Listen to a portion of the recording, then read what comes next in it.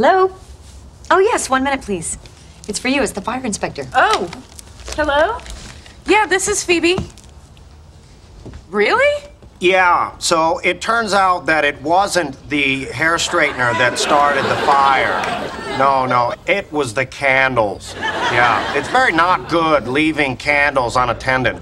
In fact, one of the first things they teach you in fire school is, uh, uh, okay, well, I have to go now.